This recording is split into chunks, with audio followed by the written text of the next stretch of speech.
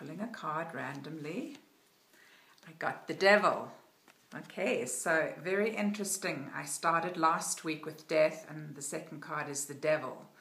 And I think that these cards have tremendous power. People are really afraid of them.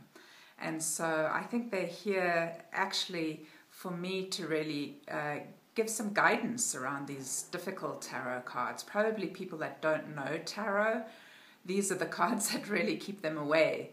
So I'm going to give some information about the devil. So I have here a devil. It's kind of a typical card representing him. He's sitting on a square, uh, actually a rectangle, that represents matter. And there he's holding down two figures.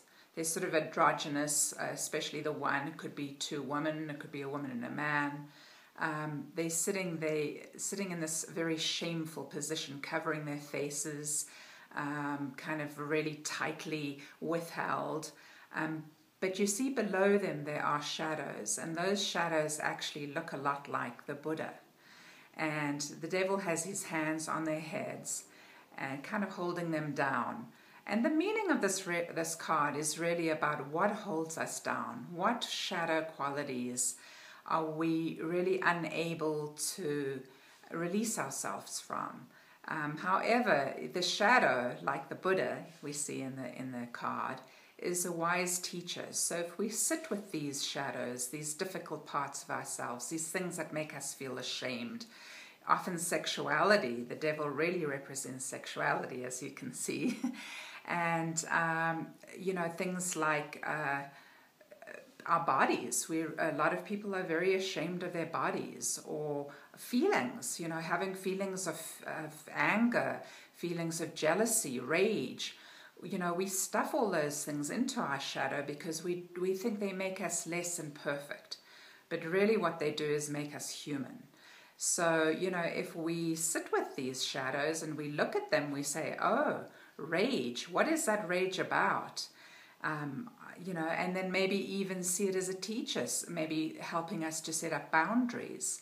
Um, then we are really able to learn from these difficult aspects of our, ourselves as humans.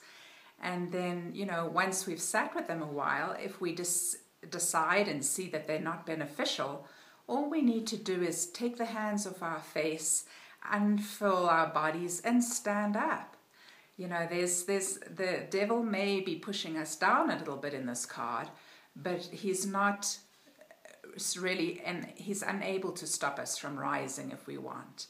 So see this card as a great teacher, a teacher telling us to look deeply within ourselves at what what brings us guilt, what brings us shame, perhaps the qualities we're not really proud of, and to look at them and to learn from them and then to stand up and rise towards the light.